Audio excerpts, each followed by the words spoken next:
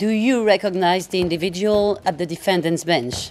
Той е мой войни командант Милорад Кръстич. Ja не poznajem tog momka. Killing for a cause can never justify the cause. It is always just killing.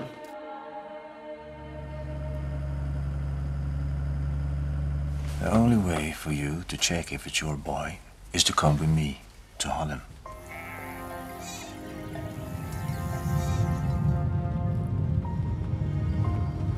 Son, you are a son, yes? Son.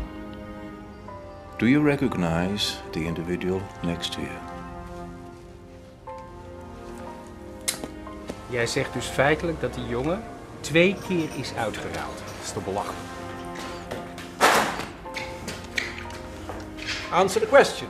Why did you claim that you knew the defendant? Did you shoot at them?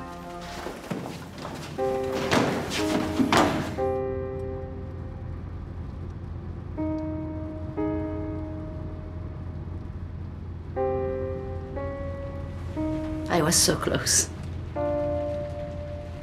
Remember, justice is on our side. Absolutely. No verdict could be based on a lie.